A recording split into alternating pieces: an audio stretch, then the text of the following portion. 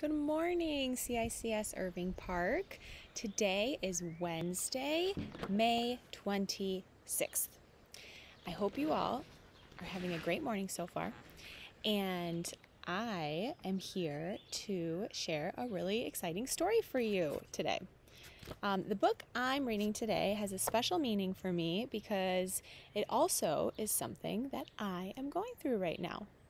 The book I'm reading is called Our Teachers Having a Baby by Eve Bunting. Pictures by Diane DeGroat. That's right, you heard it here.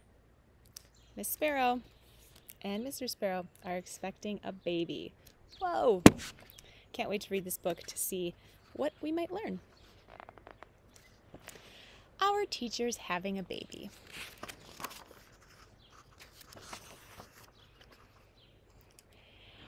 Teacher's having a baby. She told us today. Mike Hopkins frowns.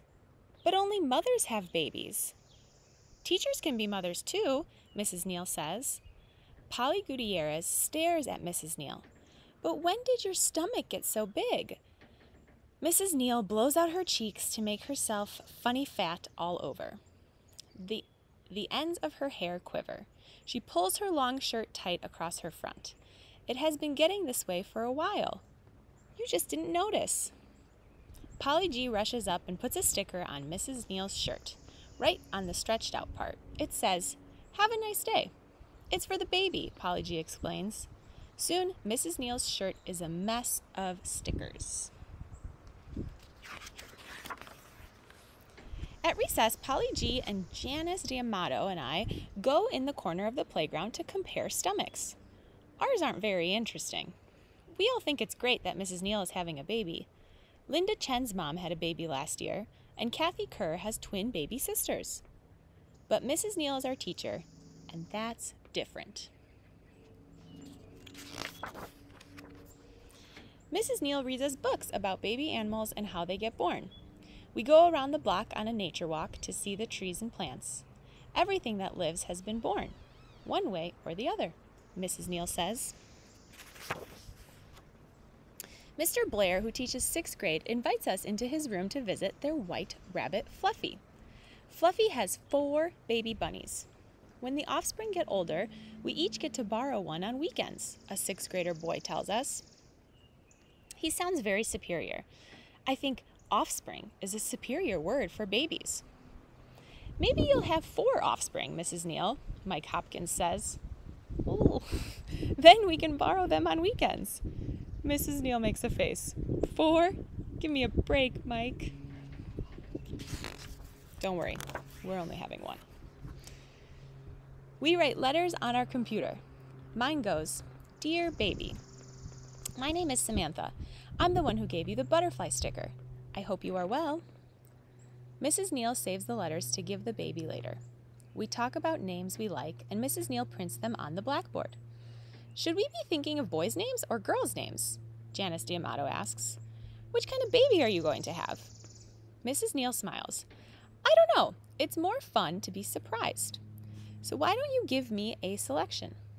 We select daffodil because daffodils come in the spring, and so will the baby in March. And Neal because if it's a boy, Neal Neal would be very distinguished. We like abracadabra too. That's the name of Mike Hopkins' boa constrictor. But when we say it together, the name rolls like a drum.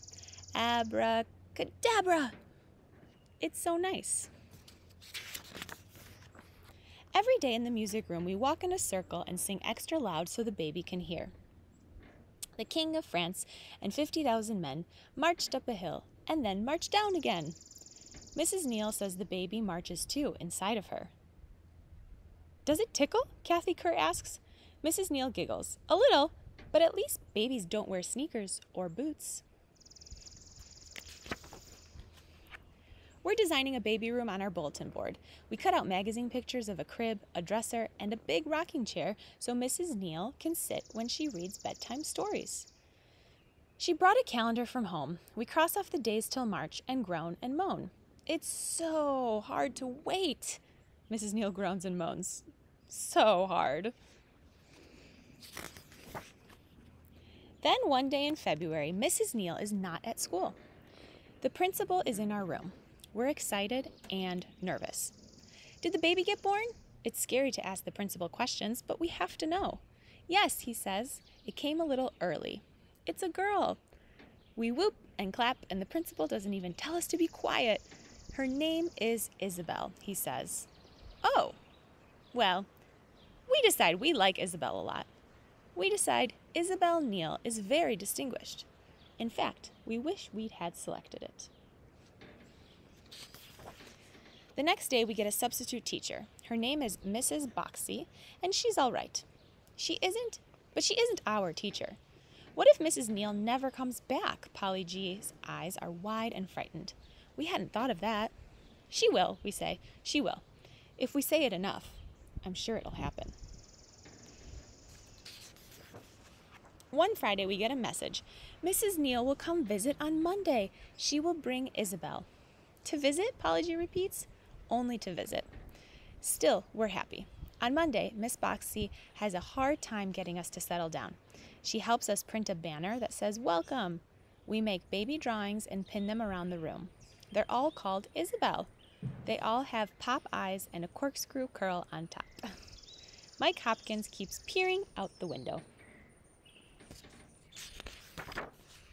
Here they are, he yells at last. We crowd beside him. Mrs. Neal is carrying a pink baby basket that's stuck all over with our stickers. We swarm around her for a first glimpse. Wow, I say. She's exactly like our Isabel drawings. She yawns a big yawn, and that makes us laugh. Mike Hopkins is excited. The inside of her mouth looks just like Abracadabra's, except he has two fangs and she doesn't have any. We are so insulted, but Mrs. Neal giggles. Oh, Mike, I have missed you. Of course, he's the one who asks, Will you ever be our teacher again? We all stand very quietly. Mrs. Neal looks at us and says, Oh, it's as if she suddenly realized something.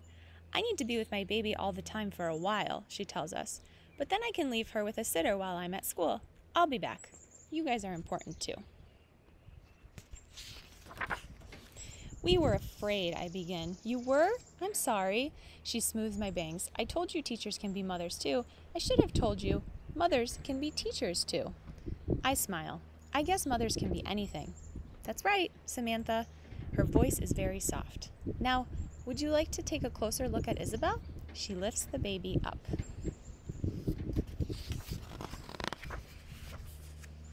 Mrs. Neal, I say, you really do have beautiful offspring. The end.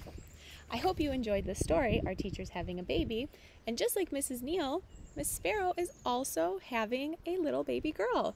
And she is coming this fall in September. So I look forward to seeing you all soon, and I hope you have a beautiful day.